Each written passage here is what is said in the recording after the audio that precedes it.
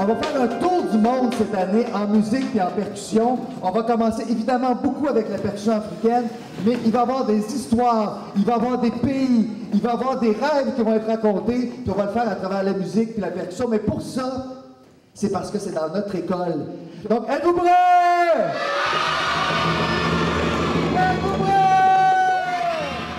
La communauté s'est mobilisée pour pouvoir avoir le projet Samadjam, le projet réussite, ici à l'école. Et ce projet-là est un projet qui dure toute l'année scolaire. Donc, on le commence maintenant, puis on va jusqu'à la fin de l'année scolaire.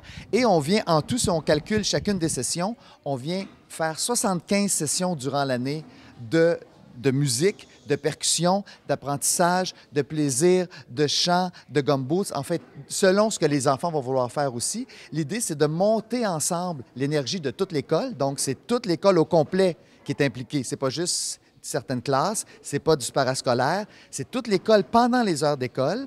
Et à chaque fois qu'on intervient, on intervient pour les trois cycles différents, donc premier cycle, deuxième cycle, troisième cycle, avec l'objectif de faire apprendre, de faire beaucoup de liens intégrateurs avec d'autres matières, avec l'histoire, avec la géographie, avec le français, avec la mathématique, avec la découverte musicale, pour ensuite pouvoir présenter des spectacles ensemble.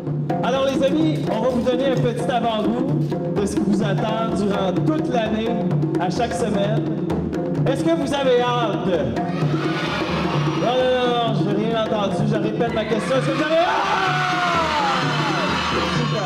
Samadjam, c'est une compagnie de production d'événements. On a cinq grands secteurs d'activité et notre euh, spécificité, que nous sommes des créateurs d'expériences musicales participatives, donc où les gens participent.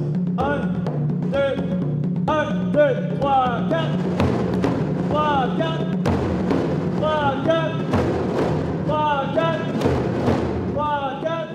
Qu'est-ce que vous pensez que le projet Samadjam va vous apporter? Ben, la motivation, parce que quand on va, se- on va se lever, puis on va se forcer pour, avoir, pour se rendre à cette période-là, parce qu'on va s'amuser.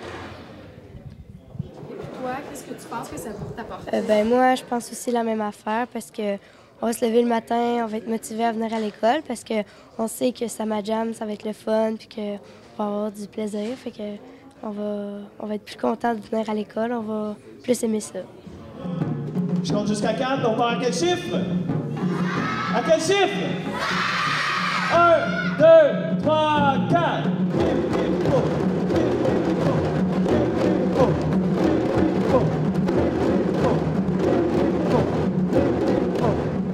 Vous autres qui êtes sur le terrain, qu'est-ce que vous voyez comme, euh, comme apport? C'est quoi, après euh, quelques semaines de, travail avec les enfants, c'est quoi l'impact du projet?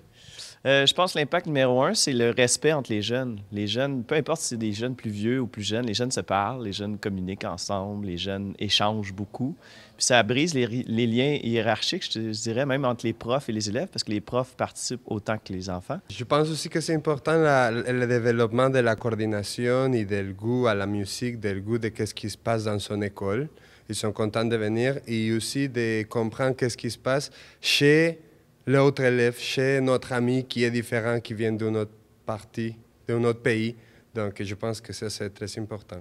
Mais je pense, moi, que sur des cas particuliers d'enfants très renfermés sur eux-mêmes, on voit au bout d'une semaine ou deux semaines, ou des fois un petit peu plus, des ouvertures qui se font qui sont complètement incroyables. Moi, je trouve que ça donne vraiment euh, un impact sur les gens qui pensent sur l'estime de soi et sa place dans la société. Parce que des fois, des enfants dans le cours normal euh, académique euh, trouvent pas nécessairement leur place. Mais nous, avec la musique, on donne la place à des leaders nés qui pourraient être des troubles de fête ou de troubles de comportement dans les classes régulières, de leur donner tout l'espace pour s'exprimer, leur montrer, de développer leur propre potentiel. Et souvent, ils réalisent, bien, finalement, j'ai une place, tu sais, peut-être pas peut-être pas comme on aurait voulu, souhaiter, mais ils découvrent qu'ils ont une place à travers ça. Puis euh, je trouve que ça, c'est extraordinaire.